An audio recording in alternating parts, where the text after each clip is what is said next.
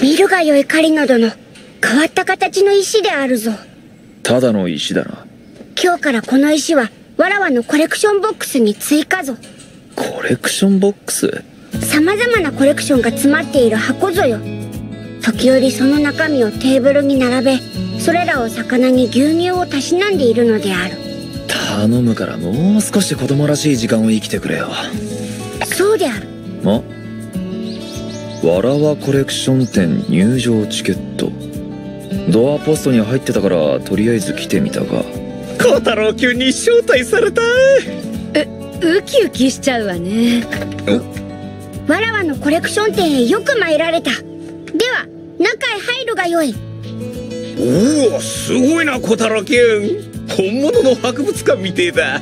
触ってもいいのか？うむ存分に堪能するがよい俺が描いて渡した絵もある。絆創膏に描いたやつまで。仕事頑張ろう。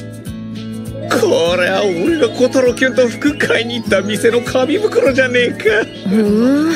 小太郎くんの思い出のものとかも置いてあるのね。行きてえな小太郎くんこれは？うむ。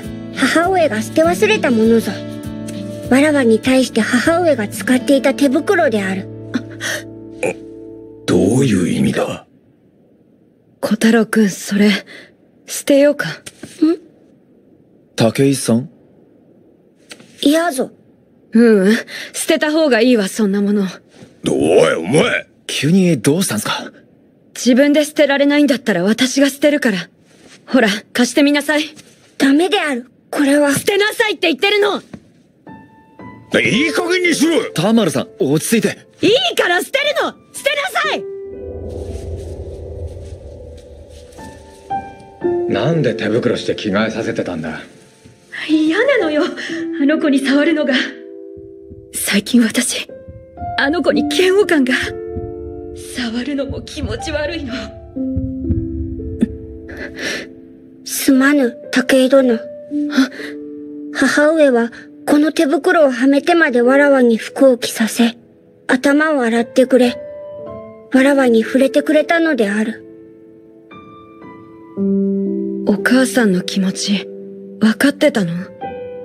故にわらわは捨てたくないぞよ